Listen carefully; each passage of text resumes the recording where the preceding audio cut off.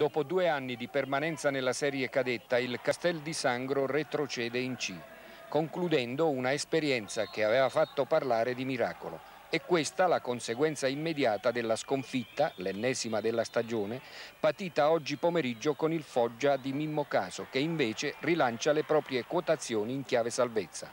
Il gol che ha deciso l'incontro al sedicesimo del primo tempo reca la firma di Vincenzo Chianese al suo quattordicesimo sigillo stagionale che con un tocco morbido batte Cudicini e regala la vittoria ai suoi. Dopo una serie di occasioni sciupate, il Castel di Sangro, in pieno recupero, ha anche avuto l'opportunità del pareggio, ma Jonathan Spinesi si fa parare dall'ottimo Roma un calcio di rigore concesso da Cosimo Bolognino per un atterramento in aria di Martino. Per il Foggia è festa grande, ma ci sarà ancora da soffrire. Per il Castel di Sangro è già tempo di ricostruire per tentare la risalita nel calcio che conta.